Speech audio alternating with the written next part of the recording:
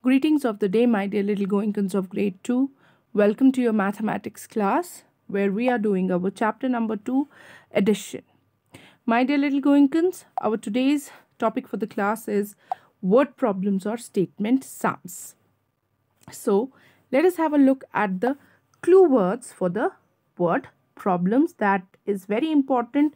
You should remember them and then you can solve any word problem. Alright, so the first clue word is sum, altogether, total, more, in all, together, combine and both. So, my dear little Goenkans, keep these clue words in your mind while you are solving your word problem or statement sum. Now, let us have a look at this example. Dad went to the store. He got three carrots and five apples. How many foods did Dad get? So, we all know there are some steps that we have to follow while solving the word problem or the statement sum. So, number one is to read the question. Number two is to underline the clue word. Alright. Number three is to circle the number. And the last step is to solve the mystery. Alright.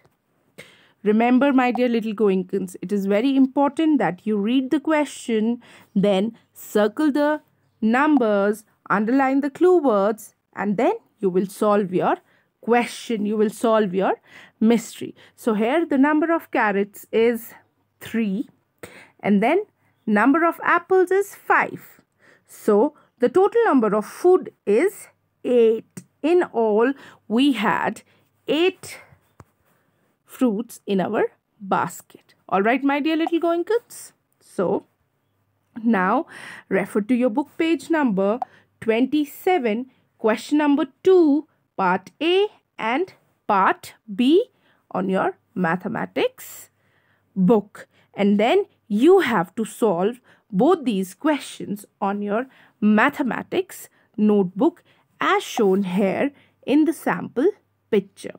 Alright, now the first question here is Sonal likes to share. She gives 5 sweets to Dia, 2 to Titali and 2 to Rohan. How many sweets did she give to her friends in all? Remember, circle the number and underline the clue word after reading the questions. And now we will solve the mystery. So I have made the clue box here. Then I started writing the statements. Number of sweets given to Dia, number of sweets given to Ditali and the number is written here and number of sweets given to Rohan. So the number is written here. So we have to find the total number of sweets given in all. So I will combine them all together. I will put them together. I will add them together. And the sum of or the total given sweets is 9. Alright. Sweets given in all is 9 here. Now let us have a look at the Second question. Mono's garden has 12 neem trees, 10 mango trees and 5 orange trees. How many trees are there in all? So Mono took us to the garden where he told us that he is having 12 neem trees. So I will circle 12, 10 mango trees. So I will circle 10 and 5 orange trees. I will again circle 5 because we have to circle the number after reading the question and then I have to underline the clue word. Alright my dear little Goenkans. Now this is my clue box here. I made the clue box and now I will write my statements. Number of neem trees in garden is equal to 12. Number of mango trees in garden is equal to 10 number of orange trees in garden is equal to 5. Now I will combine all the three trees together because I have to find out the total number of trees in all. So I will add them. All right, I will put them together and the total sum here is 27.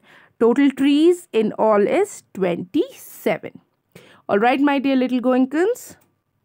I hope you will do both these questions on your mathematics notebook in the same way as I have shown in this sample picture. Do your work neat and clean. Alright, I'll get back to you with one more session. Till then, stay home, stay safe and take care of yourselves. Thank you.